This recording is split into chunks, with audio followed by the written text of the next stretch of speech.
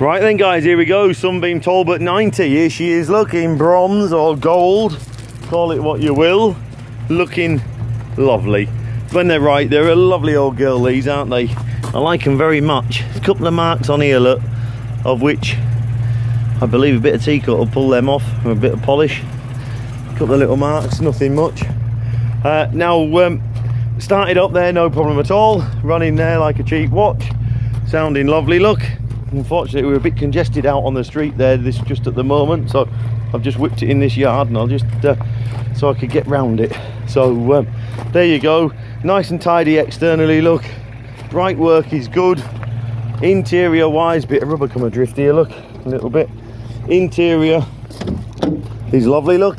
Again this is not perfect no one's saying it is uh, but it's nice and it's tidy and um, inside is nice and bright. Headlining looks unmolested really. Looks a little bit grubby but showing its age maybe. But again quite like a little bit of patina. 86 87,000 miles showing look. Probably going to be correct isn't it? Uh, Charlie's opening the bonnet for us.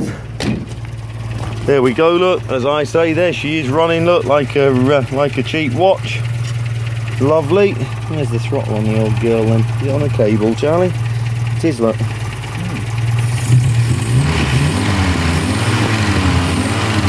a lot wrong with her, is there? Nice and sweet.